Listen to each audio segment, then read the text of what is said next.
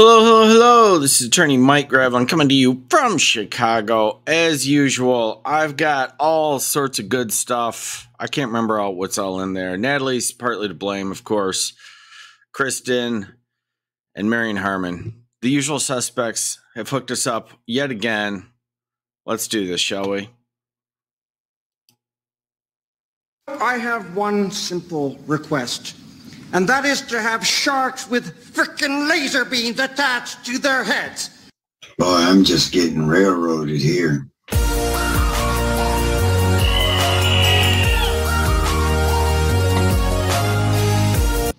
Good morning. Good morning. Good morning. Good morning. Okay, this is ticket 23 RO04073. The ticket was issued on the 17th of June about uh, 10 to 10 in the evening in the area of Royal Oak near Woodward and 12 Mile Road, and you were cited for impeding traffic. You were cited for impeding instead of the reason for the traffic stop, which was driving at 10 o'clock with no lights. Are you, you here to accept the break, which doesn't carry points, or to reject it? Ma'am? You rejected. Yeah, I'm gonna want to make sure that you understand that in the event the hearing discloses that you didn't impede traffic, but that you were operating without headlights, the ticket can be amended to that, and that could carry points.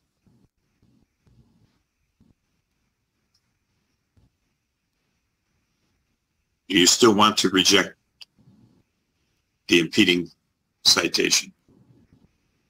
What would be the citation? Well, I'm, I'm reading the same ticket that you are, and the ticket reads vehicle drove multiple miles without any lights. Ticket was issued at 10 to 10 in the evening.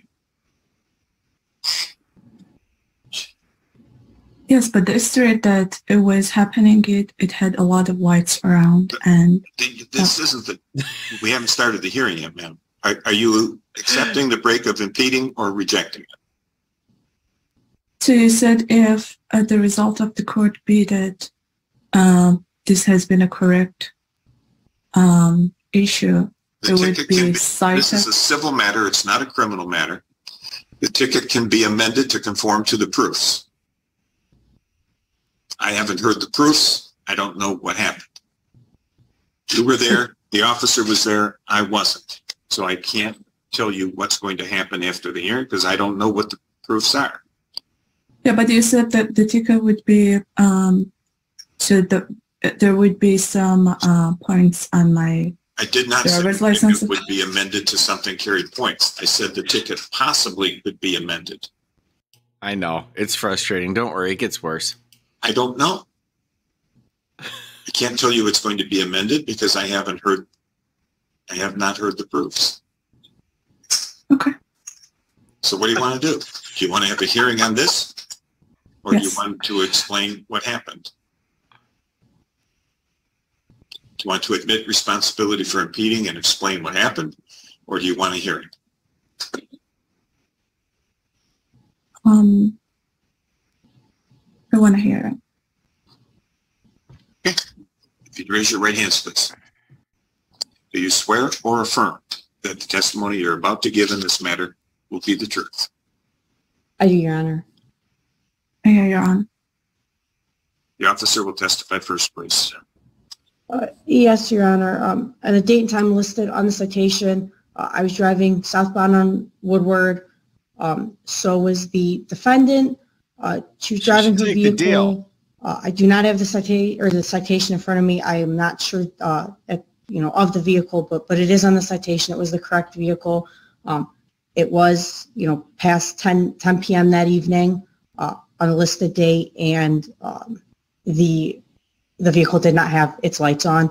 Uh, yes, Woodward does have, you know, lights on the road, but, uh, you know, when you're operating a vehicle, I, I do believe you, you still need to have your lights on. Uh, I had issues seeing the vehicle, um, and, you know, I was, I was concerned that it could have caused an accident. Thank you. Ms. Oyatina? I'm sorry, I know I killed your name. What's the correct way to pronounce it? No, it? you're good. It's Hojatinia. Ojatinia. Yes. Okay, thank you. Now that I hear it, it's not as Close enough for a gringo. complicated as it looks. Okay. So, so it's your turn, please. Yeah, that night, um, me and my sister, we were um, at the mall and we were going to back home um, to Vertroy. Um, so Vertroy is where we live. So we were heading there. And at the time, it was a little past nine um, when the mall closed and everywhere was still lit up. And that date, um, the sunset was 9.30 and it takes um, at least half an hour in order to get dark. Um, so we were on the highways going home, but um, and we were in the middle of the way that we decided to go to Royal Oak downtown to eat dinner.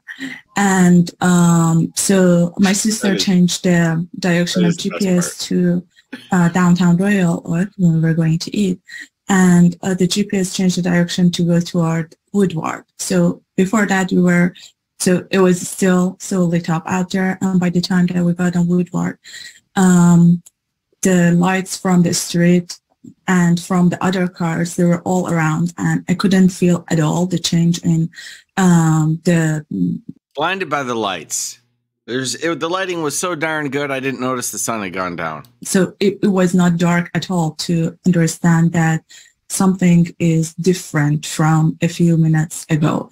And um, another thing regarding my vehicle was that it is an auto um, uh, for changing the light. Um, and do. I don't understand how that happened, but uh, because of um, it being on that, and it's been like more than two years uh, that I was driving that car, it never happened. Should we hook her up with her gear?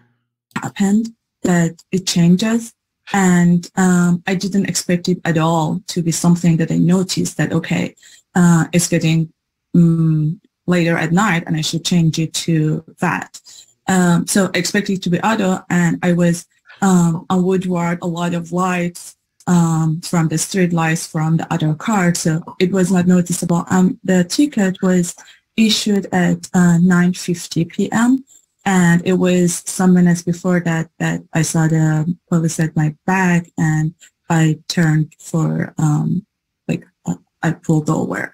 So it was still lit up out there. Yes, by the time that I got the ticket and I got out of that place, it was dark. But before that, there was still light and Seriously, we want to hear about about the hall at the mall. um, I don't think it would be any um, uh, any threat to any car around me, considering all the lights that were out there. Does it not occur to you that the streetlights were on and all the other drivers around you, according to your testimony, had their headlights on?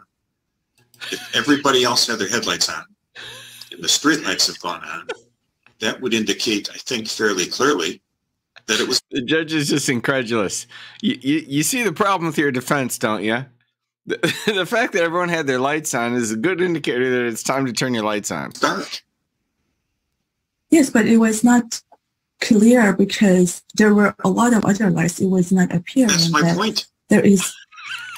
Yes, That's my but point, ma'am. All the other drivers there were cars turned on their um, headlights. They didn't turn them on for the heck of it. They turned them on because it was getting dark. You testified that all the other cars around you had their headlights on and the streetlights were on, therefore you didn't notice that it had gotten darker. Yes, so it was after sunset. That's what I'm saying, and it It was was it, well it after was sunset. going to get dark, but it was still not all the way dark. The statute requires you to turn on your lights. You didn't. Is there a motion to amend office? Um, no, Your Honor, I, I'd like to, to keep it impeding. Okay, I'm going to treat this as a lesser included and find the driver responsible. He wanted to bang her with the uh, points violation, and I don't blame him after listening to this. Uh, And the officer is continuing to give you the break. So you don't get points. yeah, he's cool. If the ticket were to be amended to conform to your testimony, you'd be found responsible and get points. The fine is one hundred and seventy-five dollars, but you knew that before. It can be paid at the counter in the courthouse. You can mail in a check or money order, or you can pay it online. All right, I said this earlier on on Biggin's stream, and I'm going to say it here. If Biggin doesn't get to 25 by the end of the week, I'm putting the whole chat over my knee. That that's the way it is. Have a good day. There's no points. Thank you. You have a good day. We will now be on the record in 2020 TR 551, State of Kansas versus Braxton Ross Broyles. Jared Regier for the state. Uh, I'm, Mr. Ro- Mr. Broyles appears in person and pro se. See, you speak of uh, Mr. Regier, and there he is. Is your bondsman here? This was set for a motion for judgment on bond. Looks like you failed to appear. You pled not guilty September 14th. The last case was Michigan, yes. And well, this goes back to February 5th of 2021, Mr. Broyles. uh, yes, it looks like you were given a 1,500 cash or surety bond May 11th of 22. You told me on May 18th of 22, you were applying for diversion, but on July 12th, 2022, the county attorney's diversion coordinator said you had never done that. You came in the next day on the 13th, continued your not guilty plea and continued to say you were applying for diversion, but you were told that was the last time that diversion would be offered by the county attorney. September 13th, the diversion coordinator said you'd never applied. So September 14th, you continued your not guilty plea and still asked for additional time for diversion. And it was continued, surprisingly again, to November 14th of 2022, but you failed to appear and you still hadn't applied for diversion. And you were issued a bench warrant with a no bond hold. You were next seen by the court, looks like Judge Satterfield, January 6th of 2023. And uh, you were commenting that you'd still never heard back from the state regarding your diversion. Of course, they said uh, you hadn't applied. So you were going, you told the court that you were going to retain an attorney. Look how much You were talking. uh, Regier is ma'am. I asked the judge, He's just loving it. sorry, Just a moment. Uh, The court directed you to retain counsel, but if you didn't have counsel by your next hearing, you are to inquire of Judge Webster, so you're seeing Judge Hart, and that you are to be at the Sally Port for all future hearings. And your bond was set at a thousand cash or surety. So let's knock that out. You're not at the Sally Port, are you, Mr. Boyles?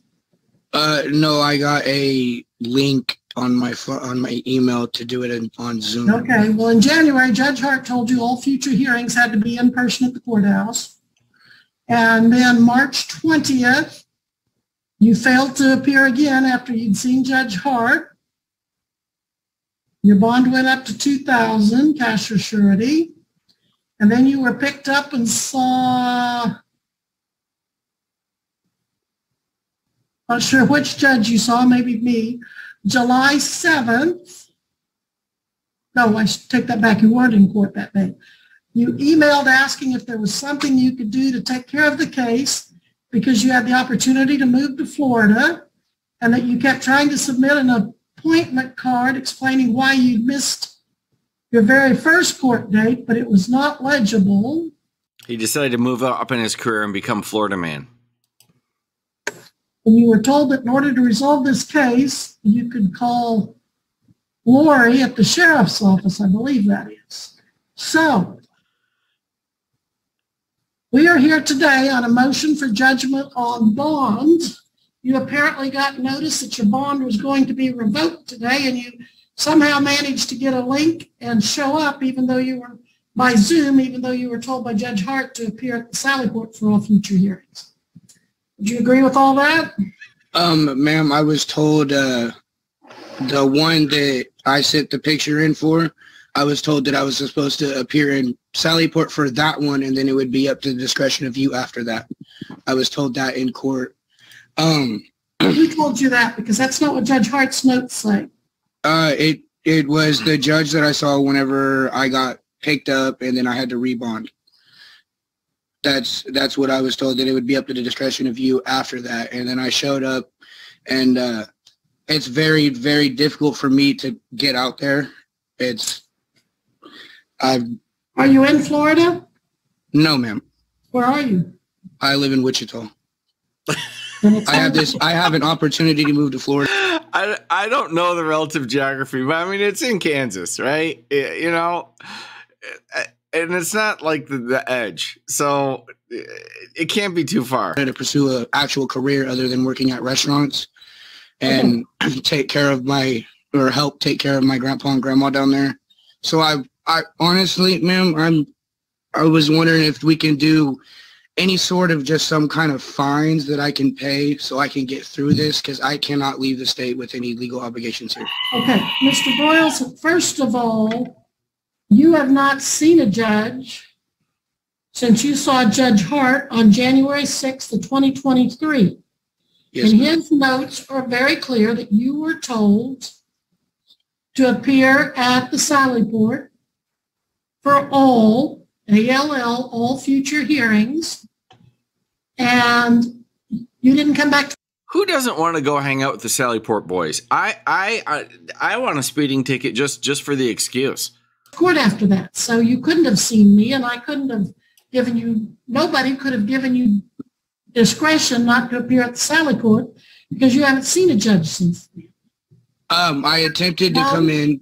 You haven't seen a judge though. That's the bottom line. You said the judge told you that you, there was discretion and all that, and that's just not possible, sir. And I, and I'm not going to debate that. You should be here at the Sally Port per Judge Hart's orders.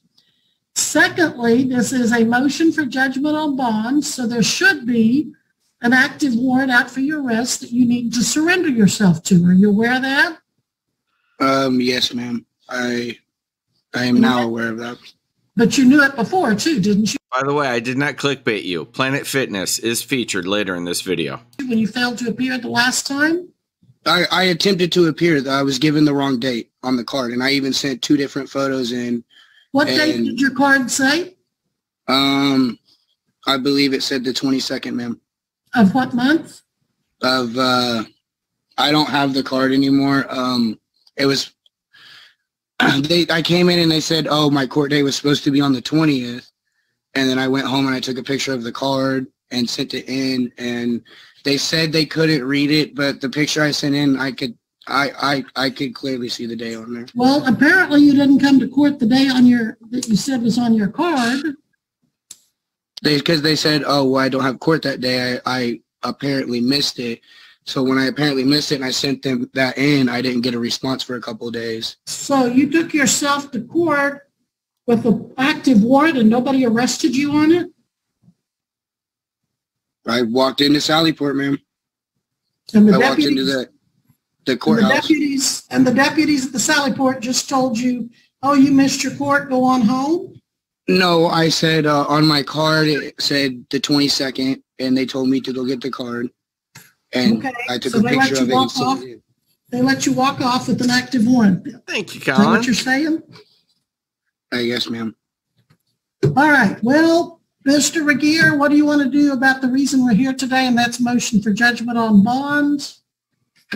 Well, Your Honor, Here. if, if the defendant, I think the defendant may have um, referred to um, the possibility of um, to use wants to, if the court is finding that he has waived his right to counsel and he, and the defendant wants to enter a plea, certainly I'm prepared to make any recommendations on that. Um, as far as the motion for judgment on bond is concerned, um, I think the state would um, move to withdraw that at this point. However, um, in review of the file, it looks like uh, the um, when the defendant failed to appear at the March 20th hearing, the court had entered certain orders regarding a bond. I think the court has already heard to that to some extent. I'm not showing any um, more recent appearance bonds since the bond that had the appearance of the March 20 date. So are you moving to set aside the warrant as well? Well, Your Honor, uh, the court has already ordered that warrant, so far from me to um, make any motions along that point. At this point, the state would only move to withdraw the motion for judgment on bond. So you're basically suggesting Point, Your Honor, the um, I would probably um, refer respectfully defer to the court on that. At this point, the state's only motion is to withdraw the motion for judgment on bond, filed with the All right. court. Okay, I think I understand what you're saying. Mr. Broyles, what do you plan to do to resolve this matter? Um, They have so many other reasons, but but th- they, they've never cited that one. Are you still wanting an attorney? Are you still going to hire an attorney? uh, I I asked for a court appointed with. Uh, it wasn't with you, ma'am. It was with uh, the other judge. I cannot remember his name. Judge Hart? Uh, Oh, yeah, Judge I asked for a Sanders. It's like you had Judge said he- Sanders. I said Hart a while ago. and It, it was Sanders. Okay. Uh, he said that that would be up to you for a court appointed attorney because I cannot afford one. So if I, I mean, if I could get uh, files to file for a court appointed attorney, then I would love to do that. Um, but like I said earlier, if I can just be charged with some, or not charged, I'm sorry, if I could just pay a certain amount of fines and and just get this all taken care of, just so I can move on to the next chapter of my life. Pretty much, that's really that's really all I'm trying to do. I got Judge, he's just trying to get to the Florida Man chapter. Why do you keep getting in his way? Got this ticket when I was 17 years old. I'm 21 now. That's almost four years. I'm almost 22. I want to get every all my legal obligations dealt with, so I can proceed to move down to Florida and pursue a better career. And so that's why I'm asking for like maybe some kind of fines or something like that, something that I could pay off. Well, I can't tell you what, what your sentence would be. We need to kind of approach this in a systematic manner. The first issue is, do you want an attorney or do you not? And can you afford an attorney? If you cannot, do you want? Okay, right now, uh, uh, Regier can interject and say the state will offer something if he just pays this fine and we'll be done with it. And that would probably resolve it. He knows it, but he doesn't care. He likes to watch the guy squirm. to apply for an attorney? Or do you want to waive your right to counsel and represent yourself? I'd like to apply for a court-appointed attorney, please. All right? And are you employed? Uh, yes, ma'am. Where do you work? Bourbon Street. It's a bar and grill. Is that in Wichita? Yes, ma'am. And are you working full-time, Uh, 40 hours a I'm week? attempt- I'm attempting to. Are they giving you 40 hours a week at least? No, ma'am. I can only get Oh. around 35, and that's what's 35? stretching it. Okay, and then what do they pay, pay you per month? Uh, I get paid hourly. I get paid twelve dollars an hour. But what's your monthly pay?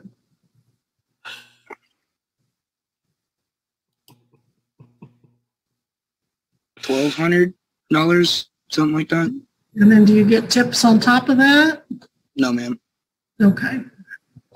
All right, and do you pay any kind of rent or mortgage? Um, yes, I pay rent and taxes on my house. All right, so, so you own your home? I, I own the trailer, but I rent a lot. I see, I see. And are you married or single? Single, ma'am. I will appoint a I see. You had me at trailer. That's what she was thinking, but she didn't say. attorney Darren Patterson. Can you write down his name? You got a pencil and paper? Um, uh, let me go to my notes real quick. Okay. Everyone always have pencil and paper ready when your name is called in court? All right, you said Gary Patterson. No, Darren, D-A-R-R-E-N, Patterson. Oh, sir, you're perfect for the Darren Patterson plan. His number is 316-322-77. You, you know, Darren Patterson's uh, lobby is just the Island of Misfit toys. it's, it's it's an absolute circus in there. zero zero.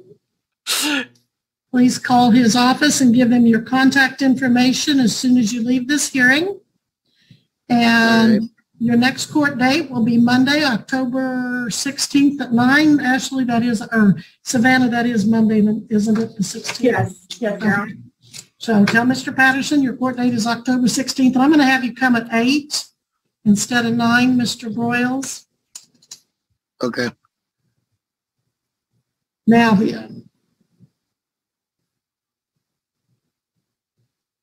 You've got your attorney, you've got your court date. And state has set aside its motion for judgment on bond.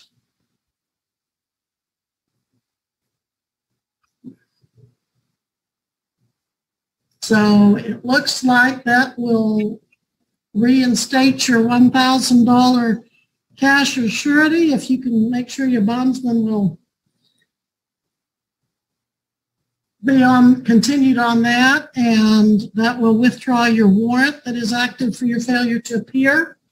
But Mr. Broyles, don't leave the state of Kansas until you get this resolved. Yes, ma'am. That's that's the whole that's the whole plan. Okay, all right. Anything else, Mr. Boyles, that we need to talk about before I let you go? Um, no, that's it. All right, Mr. Regier, anything else we need to talk about? Um, more of a point of clarification, Your Honor. Um, am I correct in understanding the court's order that the defendant is not to leave the state of Kansas as a condition of the reinstated bond? That is correct. Oh, Regier, you know damn well he's not supposed to leave the state. You just wanted to hear yourself say it, which is why we love you. Thank you, Your Honor. If there's nothing further, Mr. Broyles, you are excused at this time, but call attorney. Okay. Have a great day. You too. Thank you. Is your name Kai Sotomayor? Yes, it is. This is Here we go, people. This is uh this is the Planet Fitness incident as it came to be known. It's 23 RO 0 4192. By the way, I saw you in the chat. I've got nothing against Planet Fitness. I've never been to a Planet Fitness. I've just seen funny videos about Planet Fitness, and there seems to be a real proclivity uh, of the defendants to be at Planet Fitness. I, I really, I really have had no personal bad experience with Planet Fitness. Traffic citation that was issued on the 22nd of June, about 11:38 in the evening, eastbound Webster at Crooks in the city of Royal Oak, and you were cited for disobeying a traffic control device. The Yes, option three, you can admit or deny responsibility, or you can admit responsibility with an explanation. How do you Uh, proceed? I would like to deny, Your Honor. You could raise your right hands, please. Do you swear or affirm that the testimony you're about to give in this matter will be the truth? I do, Your Honor. I do, Your Honor. The, the officer will testify first. Yes, Your Honor. Um, on that date and time, approximately 11:38 p.m., um, me and another officer were driving southbound uh, on Crooks at Webster, um, and uh, that light at that time uh, starts flashing. So uh, to drive southbound and northbound on Crooks, it was flashing yellow. Um, to drive eastbound on Webster, it was flashing red. Um, so we, we were going through the intersection and the defendant was driving his vehicle, the 2012 Ford Focus, black in color. Um, he did not stop at the red flashing light um, and uh, it caused us to have to slam on our uh, brakes to avoid causing an accident.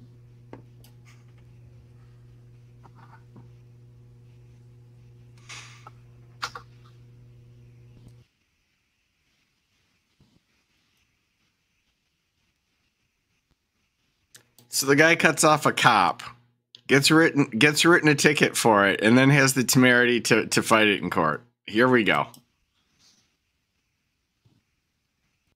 But he is a Planet Fitness member. Mr. Sotomayor? Yeah, so I was coming, I was coming from my house, uh, going to the gym, the Planet Fitness on Crooks, And yeah, I, I came up to the light. It was a blinking red. So I know on a blinking red, I'm supposed to stop, which I did. Go Came to a complete stop. I looked both ways to see if it was clear. But on Crooks, on that corner, there's a bunch of construction going on.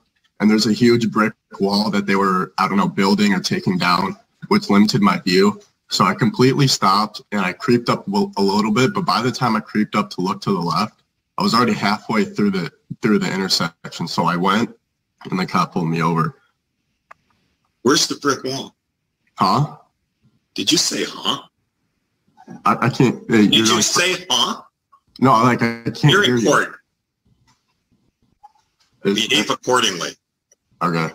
Sorry, Your Honor. Dodger.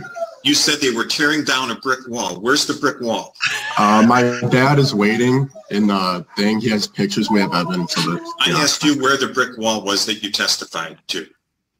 Judge has no patience for this Planet Fitness rabble in his courtroom. Um, it was in the property next to uh, the barber shop next to it.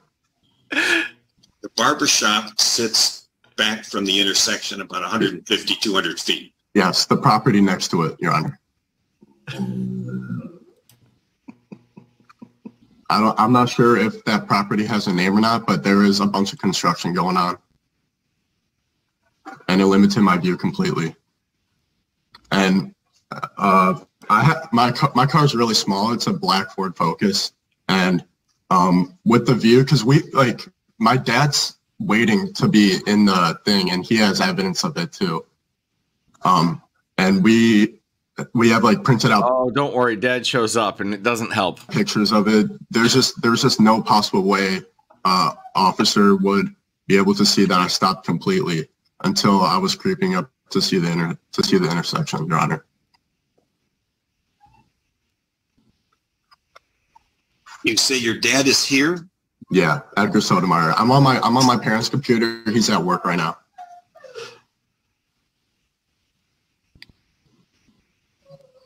We'll bring him in.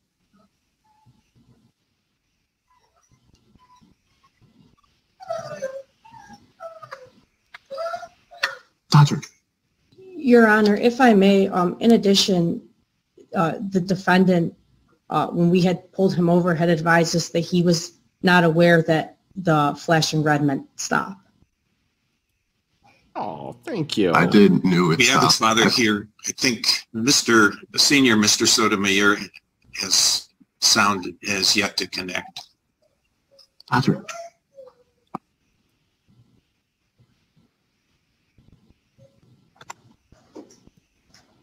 Dad. His sound is not connected. Got the waving line, so he's Yeah. keyed it to start. It just hasn't connected yet. Yeah.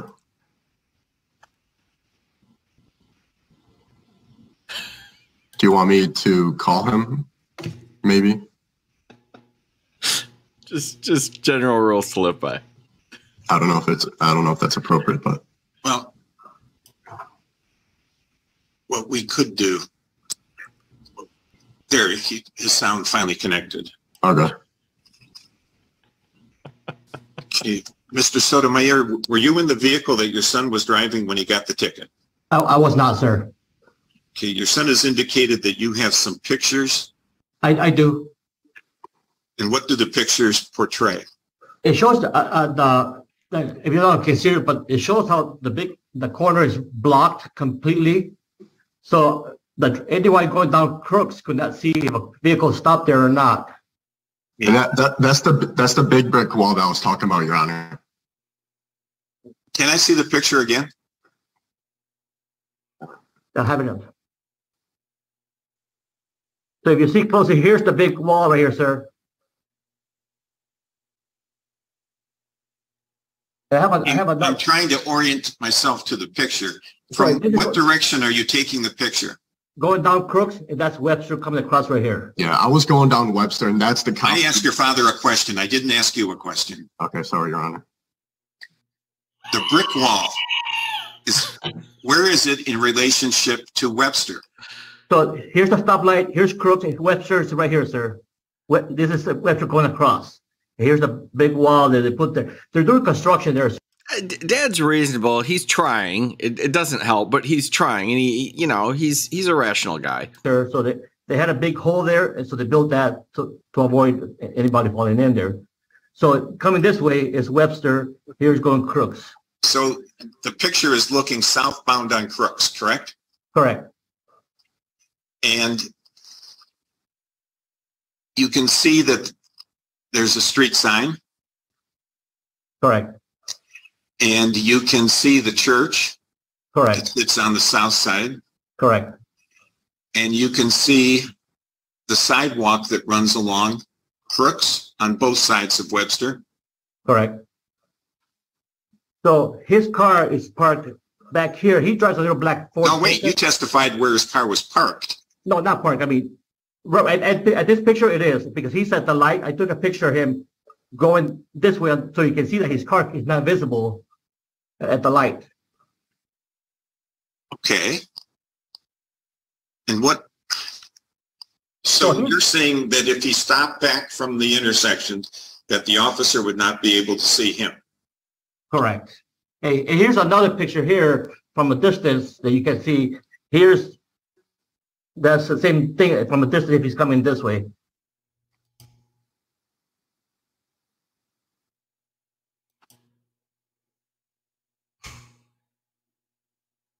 What direction is this, was that picture looking in? Same picture, same same direction, just further back.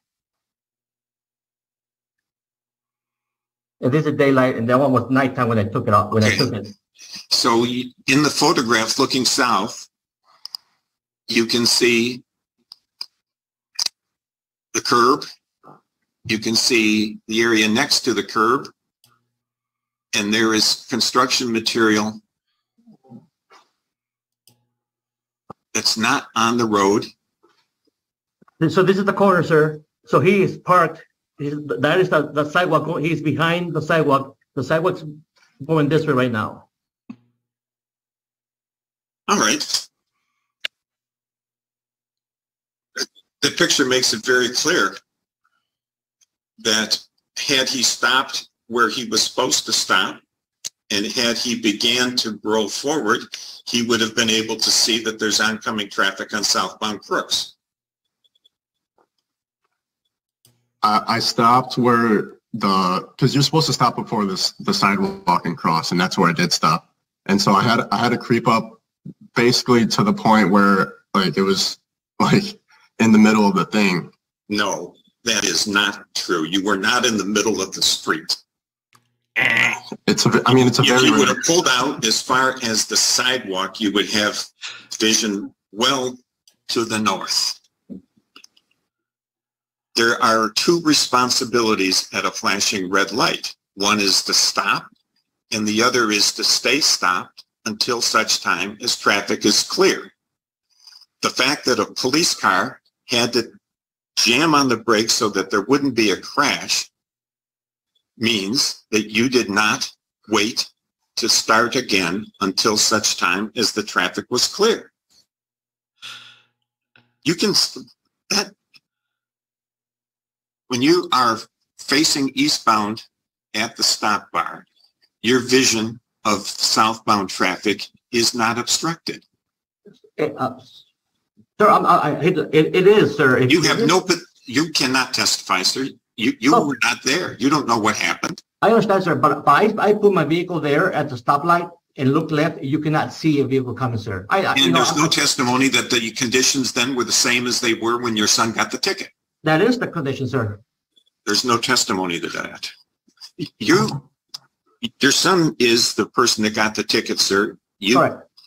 you are a witness to the degree that you have taken pictures that you say portrays the circumstances at the time when he got his ticket. But there is nothing that you've shown that would demonstrate that he couldn't see southbound traffic. And the fact that the crash was avoided speaks to the driver's ability, the, the police officer's ability to avoid a crash when somebody came out into oncoming traffic. That construction does not stop people eastbound from seeing north seeing to the north so they can see southbound traffic when they come out. There are four lanes of traffic, two each way there, two north, two south.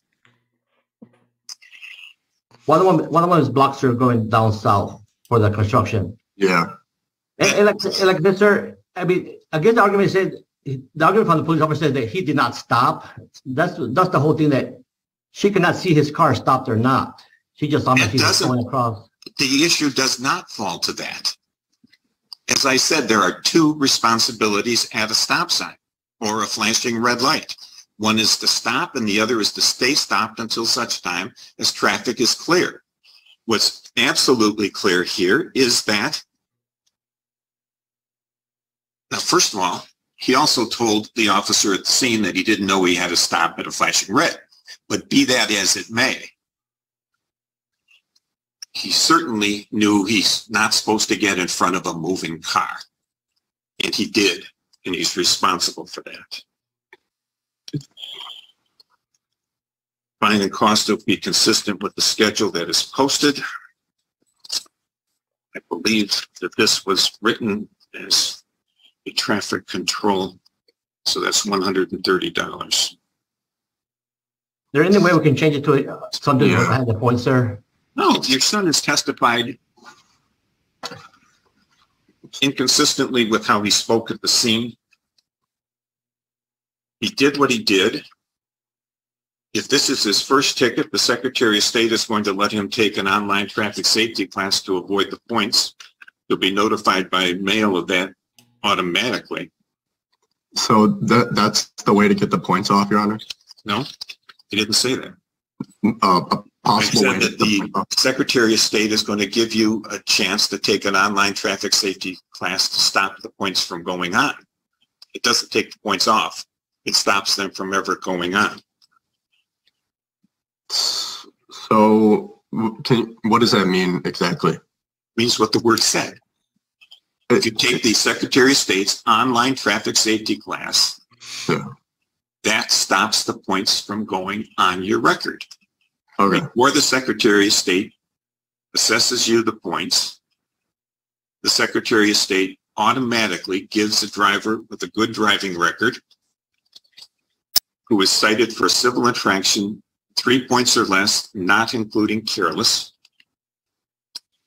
the automatic chance to take a once in a lifetime class, stop the points from going on the record. Good news is there was not a crash. Um, is there anything? Because I I'm going to college next year, and I'm already working two jobs as it is. So is my father, and I'm really like he's making or I'm having the opportunity to pay for my tuition, half of it, and I'm already like trying to pay as much as I can with working these two jobs, and I need to pay for textbooks as well. Is there any possible way you could just like lower the ticket price or anything, or just move it to something else? Like it, Mr. Sotomayor, I'm going to show you the respect that you're entitled to. You're entitled to the consequences for your conduct. I'm Yes, not sir. going to say that what you did doesn't matter. It does. What you did could have got yourself killed. But for the driving skills of the police officer, you would have been in a T-bone crash. A T-bone between the wheels at 35 miles an hour can be a fatal. The speed limit at that point drops from 35 to 30. So the officer was probably only going 30. Might not have been a fatal, but it sure would have been serious if there's a door in your kidney. So this, if you look at how thick the door is of your car, that's the only thing stopping you from a T-bone. Okay. It's The fine is $130 It needs to be paid. You can pay it online, you can pay it via the mail, or you can drop by the courthouse and pay it at the counter. Thank you. Thank you, Your Honor. That's People versus Paul Kingma, file 9195 of 23. Oh yes, we have an update on my man Paul Kingma. You know Paul Kingma. He's the one who's always getting railroaded. Good afternoon, Mr. Kingma, and Uh, We've been following his once saga. again, this is the uh, time for a final He was the victim of somebody giving him Bailey's Irish cream instead of regular cream in his coffee. Conference. And Ms. Henry, is there any plea offer? Uh, it would be an operating while intoxicated. You would dismiss the high beam. Okay, and Mr. Kane, is that? That's an understanding of the plea agreement as well. Mr. Kingma would like to take advantage of that opportunity, enter a plea to guilty. All right, so most importantly, Mr. Kingma, is that correct? You want to change your plea to the lesser charge? Yes, sir.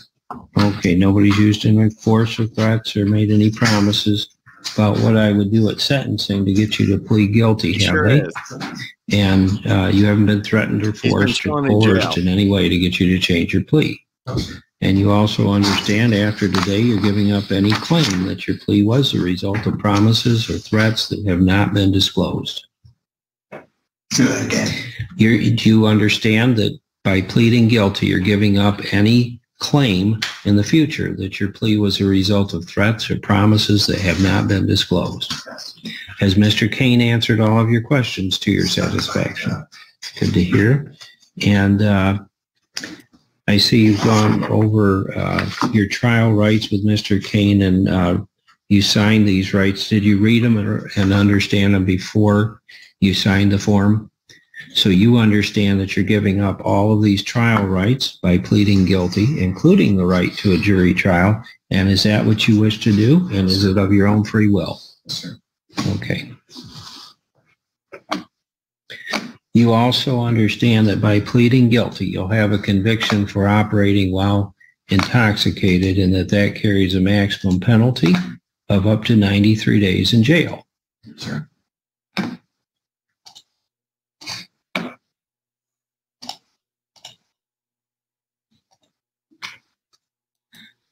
The complaint alleges that on February 24th, you were driving your car on Manor Lane in Gar- Garfield Township, Grand Traverse County when this incident occurred. Is that true?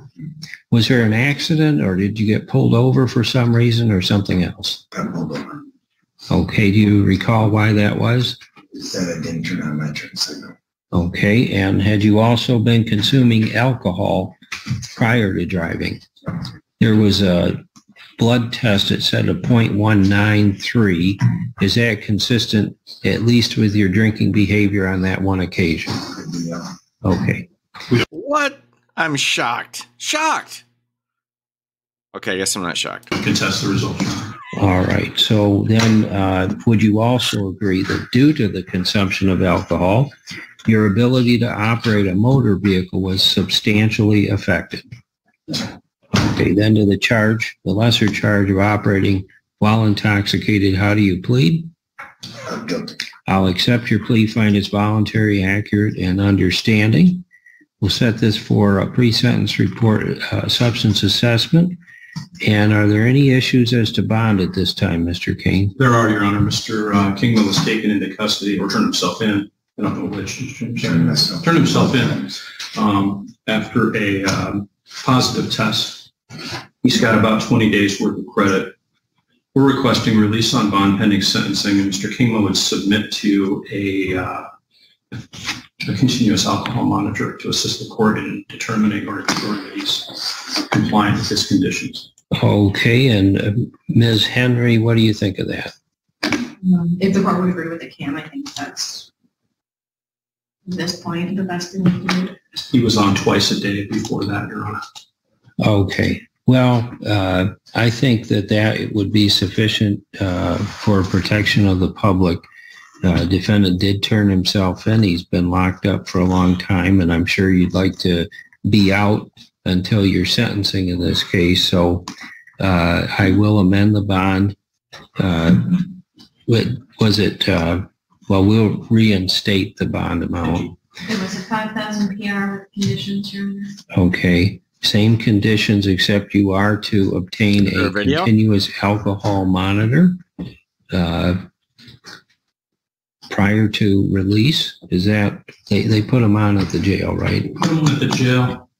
That may mean that you have to stay in jail. You have one more night. I don't know if they can put it on you tonight yet. It may My be- birthday's tomorrow. if it's, if it's possible, since he turned himself in, if he could come back to the probation department to have that thing applied. It wasn't that heroic. He he uh, went and got busted with a. he went and got busted for drinking while while he was doing uh, his testing, and then turned himself in. Like he didn't have a lot of a cho- lot of choice there. To him. And I'll bill tonight and tomorrow. Okay, I guess I will, uh, I'll release the defendant so long as you have a cam device set up within the next 48 hours and you test at least, uh, twice a day, uh, your normal AM and PM times, uh, between now and that, when you get the cam, okay? When's the sentencing date, Miss Odom? Uh, August 29th at nine AM, if that works, Mr. Kane, it's a Tuesday. It's two times seven. Right now, I'm in a jury trial in the Hampshire Circuit Court that day. I don't, I don't know. I hate to schedule this one. That one I'm not sure of. I also have a doctor's appointment that morning, which I'll have to deal with. Is there a different date we could use? Sure. How about 9:45 on August 31st? That should be just fine. I've got stuff here anyway, so that will be just fine. Okay, so we'll be back on that date and time and, uh, let's see. So Mr. King was, I, I put a little card in his pocket that's got probation's number on it. Okay, Call them between, well, call them tomorrow. When you get out, and you go to get the cam, and talk to them about, uh, getting your, uh, your sentencing appointment set up. okay. The biggest problem I have is, uh, when people don't, uh, call the probation office and get that appointment set up. Because, uh, if you don't do that, then we assume you're not interested in probation and, uh, I'll be so. doing that tomorrow morning. Okay, that's what I want to hear. Thank you. We're all set for today then. Nine forty-five, Tammy? Yeah. Thank you. Yep. Thank you, Your Honor. Thank you. It should be released to Holy wow. That's red. And Mr. Giegler, you can turn on your camera and microphone. Okay, this one is Natalie's fault. It's horrible. This guy out Karen's any Karen I've ever seen. I implore you, do not watch this. I think you have to go pour a cocktail. This is number 23-190. And Mr. Giegler, can, can you make sure and correct me if I'm saying your name wrong? Uh, you said Paul. It's Phil. Phil Giegler. Yeah, Giggler. Yeah. Okay, I got you. Okay.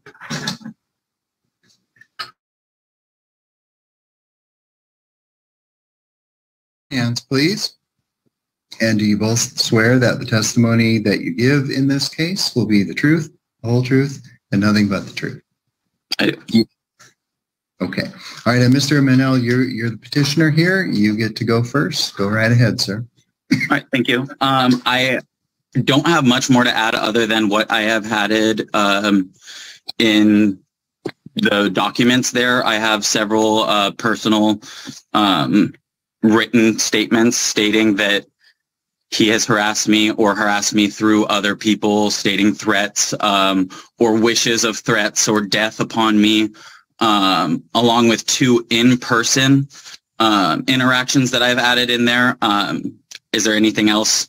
I don't have anything other than what I have added in there, other than I'm concerned with the amount of energy spent towards the hatred towards me with no interaction from me and no prompting from me. Uh, and how it's escalating concerns me of what he's willing to do, um, especially when I have not acted upon or even responded to any of the things he's said. The last time I called the cops and I, I didn't know what to do because I'm not in a position where I can handle any of that myself. And they told me to file an anti-harassment order, especially with there being multiple, multiple, multiple points of contact with me and employees that he's never even met. So Right. Uh, a couple of just a couple of questions to make sure that I'm clear on on what you're telling me here, especially in your written material. Absolutely. So Mr. Giegler is someone you used to work with? Yes, he's an ex-employee. Yeah. Okay. And am I correct that both of you are, I, I guess, present in the uh, cannabis business? Uh, I am. Yeah, I don't know about him anymore. He was fired. Yeah. And one of the interactions that you describe here in your in your Judge, he couldn't hack it in the cannabis business like me. Um, written petition happened at one of the cannabis businesses here in Olympia, right? So correct, and it's not the it's not my place of work. I was actually going in as a patron. Um, both of them actually happened at different ones. Funny enough, on either side of town. I was just going in to purchase, and as soon as he saw me, he started to make comments in front of a room full of people. I mean, nasty comments. I hope you get cancer. I hope you die. You should go kill yourself. I even leaned over to the security guard who was working. This is the first interaction. This is months after he was fired from 420. Um, and I leaned over to the security guard and I said, uh, hey, you have First of all, it's funny that he's. I, I don't know.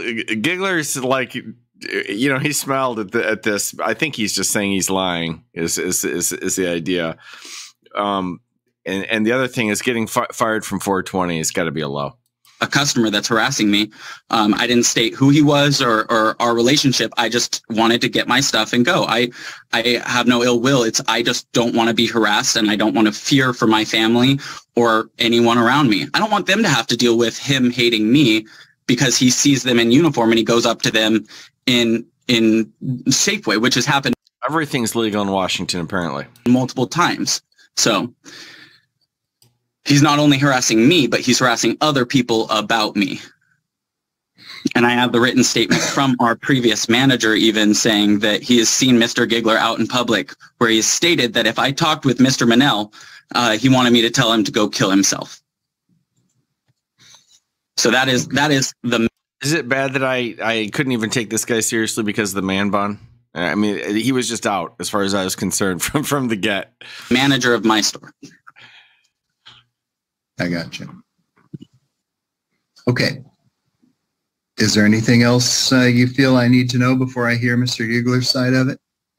I don't think so. Just just that I think he is potentially dangerous to himself or others. All right. Mr. Giggler, it's your turn to tell me your side of it. Uh, yeah, I actually didn't even receive this paperwork until Tuesday night last week. Um, it was not handed to me. It was stuffed into my vehicle. So I found it out that way. Um, so I had, according to the document, I couldn't get, I couldn't input any evidence because it was past the week time frame. Uh, not sure if that matters or anything like that. I was told it was five days before the court. Hold on, Mr. Manel, just sorry. Remember, Mr. Giggler gets to tell me his side of it. All right.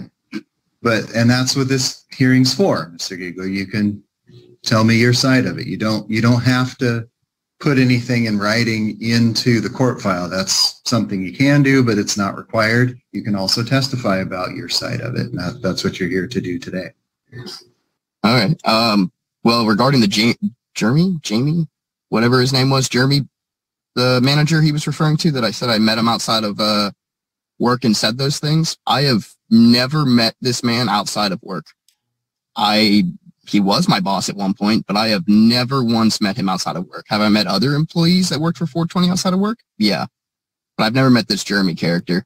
Um, so to me, that's pretty much null and void for anything he has to say about that. Um, I've seen him twice.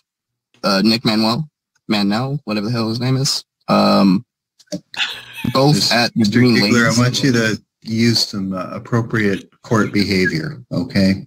The la- your language and behavior needs to be appropriate for court. Did I, what I do? Yeah, using curse words casually like that is just not appropriate for court, so Ah. please. Sorry. I apologize. Um, I met or I saw Nick twice, both at Green Lady establishments. I refuse to shop at 420 because they work there. Um, I go out of my way not to see them because I don't want to see them. Um, 420 is, uh, I haven't looked in a while, but it was like of the four stores they're in the top six. Green Ladies are the other two. So I choose to go to the other two as they have better deals and I don't want to go to his place He's getting way too specific about where he chooses to get his dope. work at all. Um, the first encounter he described, uh,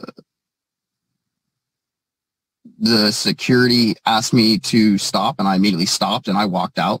The second time I had Or at least smarter than the other guy, which I think he is. had gone in, saw him in there and walked out immediately and then waited for him to come out so I could go in.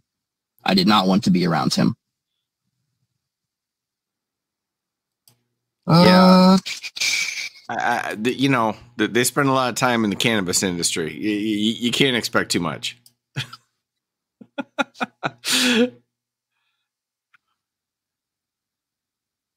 also the people that he got to write information about me were also all the people working against me to get me fired. Nick had tried to work against me since I had started that job to try to get me fired. I don't know if he was threatened by me just because people liked me or what, but he was very We need Judge Brian in here because you're you're correct. That would be her take. That would be her take. against me working there from this first week even. Um, I was written up in a I, I actually showed up for five minutes on uh, on Judge Bryant's prayer stream this morning, and it, it was it was ab- absolutely cool. Palatory manner because I had asked another manager a question that he did not know the answer to. And because of that, I was written up for it. He fraternized, frat, frat, frat, fraterni- what's the word? Frat, fraternized? If you don't, if you don't know the word, then choose one you do. Words to live by. I think that's Had the a word. casual relationship with, that's what that word means. Yes. Um, with multiple members of management, I was put in a corner where I could not talk to pretty much anyone in management without the retaliatory factor from them. I don't wish to see him. I don't like him. I go out of my way to avoid him to begin with. It just so happens to be that he has four stores that he Oh yes, Moon Baby. This is the world we live in now. This is what we, this is what we're up against. could chop at from his business, but he chooses to go to another one, which is his prerogative. But pretty much the only thing, only time I would ever really run into him would be at those stores. And I tr- already try to go at times that he does not. Because it seems to be that he always shows up around eh, like the 10 o'clock mark. I like to avoid that time because I don't want to see him. As for others saying I've said things to them, they've known that I did not like him. They are also people who've said multiple things against him too. they don't like him either half the time. But to me, that's just all hearsay. I, I mean, they can say I said things. I mean, I asked if they worked at 420 or if I knew they worked at 420. I just talked about how I did not want to work there anymore. I hope they get out soon because he's not a good manager. All right, Mr. Giegler, is there anything else you feel I need to know before I make a decision? Nah, I think that's everything. Okay. All right, thank you, sir. Okay. Um, now it's clear to me that you know these these two parties they they don't like each other. There's clearly bad blood here, and you know that's um, sometimes the impetus that gets people into trouble when they follow through on feelings like that. But I'll say this. uh, Yeah. Yes. This is this is two extremely non-masculine guys in their feelings. If they were normal guys, there would have been a fist fight somewhere and it'd be over. There might be charges on that. We'd all understand it, or there might not be. but this, behold what you have with the feminization of women of men. It, enjoy. um, as much as the you know the things that Mr. Giggler said or that that Mr. Manel attributes to him having said, um, you know, they're not nice things for sure. I mean, it's they're unpleasant things, but I, I don't think any of them are um, harassment not not not legal harassment, not in the sense that the law defines harassment for purposes of either criminal conduct or for um, granting an anti-harassment order. It's it's basically what you might say in layman's terms is you know trash talk or you know talking bad about some around town. That kind of thing can happen. Uh, you know, if people don't like each other, they're free to say mean things about each other or you know, post disparaging things about each other on social media or tell mutual friends that the other person's a bad person or, you know, a scoundrel or whatever. But, you know, this that's a different thing than um, than harassment. And May, um, may I, mean, if you- interject? yeah, no, no, Mr. Manel. Um, at this point, I'm making a decision and I'm explaining it.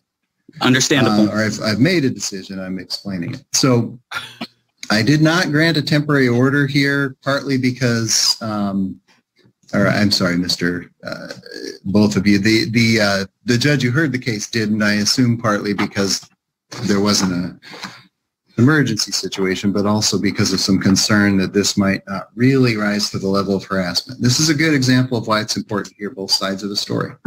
Uh, Mr. Giggler comes in and tells me his side of the story, and that gives some context to the whole thing and kind of gives some context too to the the actual intention and meaning behind the statements that he made. And he's been consistent and clear. Yeah, he doesn't like Mr. Manel and he says nasty things about him occasionally, but I don't take anything from that that there's any serious intention to do any kind of harm. It's just kind of unpleasant, nasty stuff. But you know, this that's allowed under the law. So uh, unfortunately, you know, Mr. Manel, I'm going to deny your petition. Um, and I'll let you know just because, you know, things are fluid and change over time. And you, you know, this might, you know, next week, next month, bad things might happen that are totally different.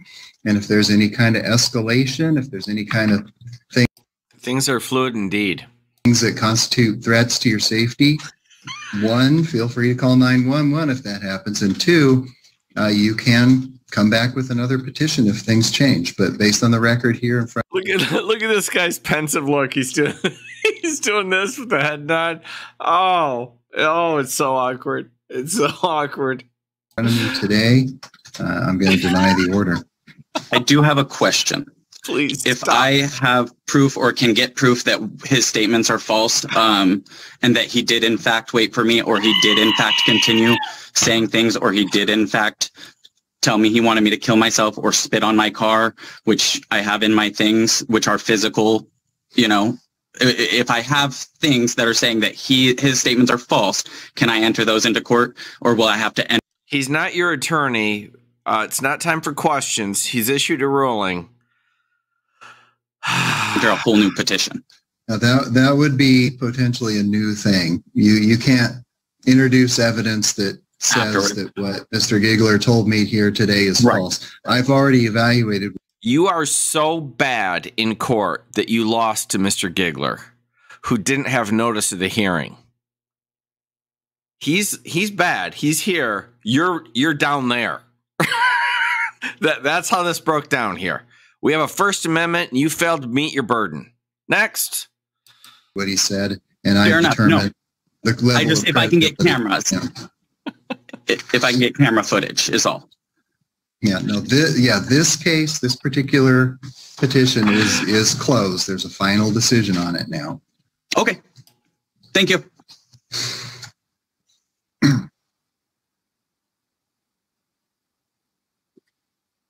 Is there anything else you would need from me, Your Honor? Uh, nope. I just want to let you both know that this order uh, denying the petition will be filed with the uh, clerk, and you can both you'll both get a copy of it from the clerk, or you can get it from the clerk's office whenever you'd like. Do they, Do they email it to you? And do you have my email? Um, we can take your email and send it to you. Yeah, that'd be great, actually. Okay. Uh, you ready? Heck, it's a double rainbow. Hey, Cal, look at that. It's a double rainbow. I told you. I told you. But I, ha- I have to admit, I, you know, it's it's better with a cocktail in you. It, it is. Giggler prevails. Giggler prevails. He gets service by via having this this stuff stuffed into his car door it's a 420 ho- showdown you know like everybody's high. He gets it uh, they both they both to their credit make it to the hearing. Giggler fails miserably but the other guy fails worse. It was a race to the bottom. It was a race to the bottom. There you have it. All right thank you all for coming out. So much it's a 420 showdown. It really was oh that it was it was just epic epic bad you know? Any way you slice it. Oh so much good stuff in there. We we had uh we had our guy getting railroaded. At least that's what i'll claim even though he entered a plea. Good for him. He finally took care of it. He got busted out. He got busted out of the grand traverse county jail so he can go drink some Baileys and get thrown back in here in the next 48 hours, probably. I'm thinking about getting up there. Might might might go see the dad.